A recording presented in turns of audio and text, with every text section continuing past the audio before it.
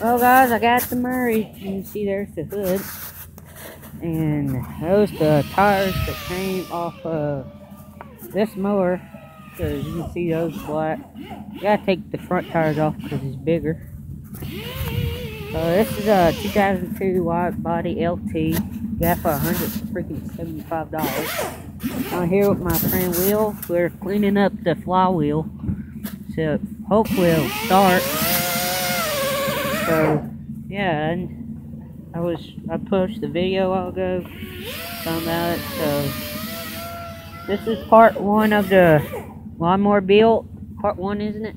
Yeah. All right, part one. This is a five speed, and no, unlike this one, it's a real gear.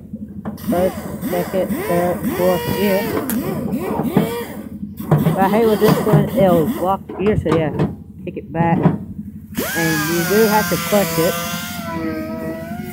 So now what are we doing is that up. And uh, next bit be like starting up the painting. Hope y'all can hear me. Uh, hey, look at this. It got its fill thing, so Yeah. it tell you. It's pretty cool. So yeah, I gotta do that. And I'm putting the fender flares that came off of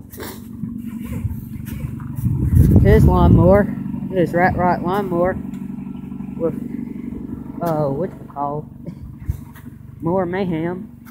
This is uh, as I said, Murray Wide Body LT, 12.5 horsepower, 40 inch cut. What? Now it's gonna be 40 inch mud cut. It's not grass cut, it's mud cut. So I t I'm going foot stall again. This gonna be the choke. I'm gonna rig it up, and this is the two. This is uh, a 12 and a half horsepower Briggs and Stratton flathead, obviously, which is gonna be fully swapped. It's gonna be a six in the front, six in the back. Yeah, you can ride it. And what I'm using for my bumper is this bike handle. I'll do that in another video. But today's gonna get started. Next video is this thing running. But that, it's still good. So please like, comment, subscribe. Peace.